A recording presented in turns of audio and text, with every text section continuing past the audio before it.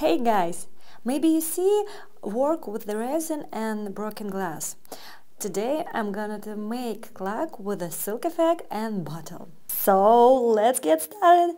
For this project you need a silicone paste, iGum uh, from Resin Pro and epoxy resin transparent and Art Pro from Resin Pro also.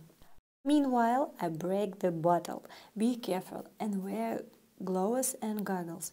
I put the layer of resin and place the broken bottle on top. And during the project I realized that transparent glass blends too much, so I recommend using color bottles for a more impressive effect. And ta-da! The clock is ready. Now you know the secret how to do this beautiful work.